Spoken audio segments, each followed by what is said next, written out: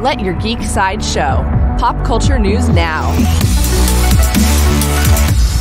Hi, this is Andrew, and here are your daily geek headlines. New from Universal Pictures. Universal Pictures announced the release date for two new editions in the saga of Michael Myers and Laurie Strode. The two films will be a continuation of the incredibly successful horror film released last year, Halloween. Halloween Kills will be released on Friday, October 16th, 2020, and Halloween Ends will be released on Friday, October 15th, 2021. For fans of Rick and Morty, Adult Swim released a San Diego Comic Con exclusive clip that gives us our first look at season 4 of Rick and Morty. We get a glimpse of Morty and Jerry after they decide to work with an alien named Glootie who seems to be very good at making relevant apps. There is no release date for Rick and Morty season 4 at this time. Next up from Fox.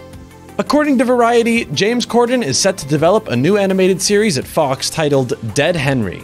The show is a buddy comedy that takes place in heaven and follows Henry as he struggles to find the meaning of life in the afterlife. There is no further news about the Dead Henry animated series at this point.